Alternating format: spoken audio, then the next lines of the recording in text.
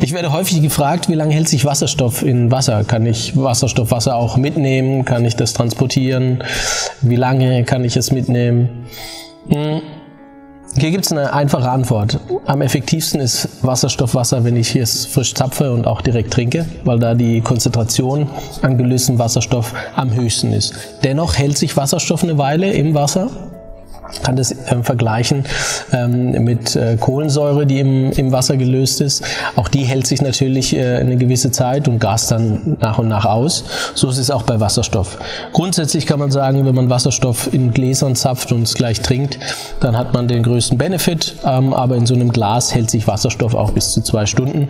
Wenn ich eine Flasche mit Wasser fülle und möchte das über den Tag mitnehmen, zum Beispiel ins Büro, dann ist es ganz wichtig, dass man die Flasche voll richtig voll macht, das heißt bis zum Rand und dann auch fest verschließen kann. Das heißt ein guter Deckel, der auch wirklich äh, luftdicht verschließt und äh, dann kann man auch so eine Flasche mal über den Tag mitnehmen und äh, das äh, Wasserstoffgas äh, bleibt gelöst im Wasser und man kann davon profitieren.